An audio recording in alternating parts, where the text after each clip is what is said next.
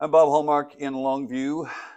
Ranchers, East Texas ranchers, are hoping for some rain right now for one more green field and one more cutting of hay. Very important for beef production here in East Texas and across the country. Now to talk a little bit about that, we're here with uh, Gregg County Texas A&M AgriLife agent Shaniqua Davis. Uh, and Shaniqua, I guess for eh, people that need to be educated about this, why is hay so important for ranchers? So you need hay production to be able to feed your beef cattle so that way they continue to thrive during the winter months. Now, one of the reasons that this is important right now is because of the drought, and we also had some summer fires which mm-hmm. affected our hay production you talk a little bit about uh, what happened, I guess, in, in some other counties. Is that right? Uh, yes, some other counties. We were fortunate we didn't have too many wildfires here in Gregg County. Um, there were a few, but a little down south, a lot of counties were hit with devastating wildfires that burned up a lot of their hay fields.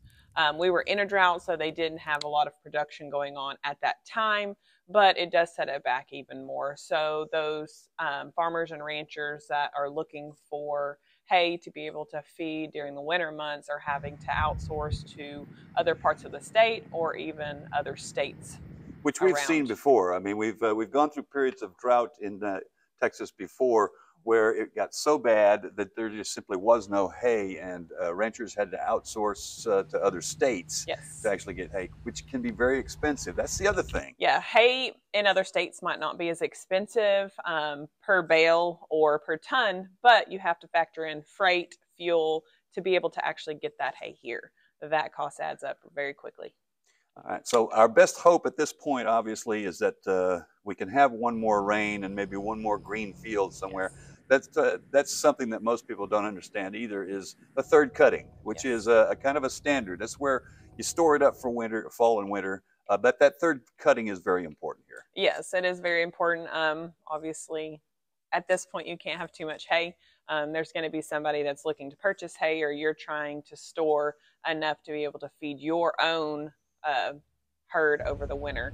But um, being able to store that hay, having it on hand, people have had to start feeding hay already just because of the drought has already hit them. So they're having to feed three or four months longer than what they originally anticipated. Yeah.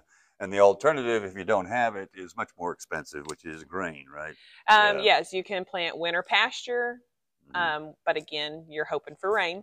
Yeah. Um, so, or feeding out, like you said, grain, corn, different things like that. You're having to outsource that. It's more manpower because you're having to continually feed um, put that out where they have the proper nutrition that is needed. Okay. Shaniqua, thank you. Appreciate you. that. All right. And we'll have much more on this story tonight on KLTV 7 News for KLTV Web Extra. I'm Bob Hallmark.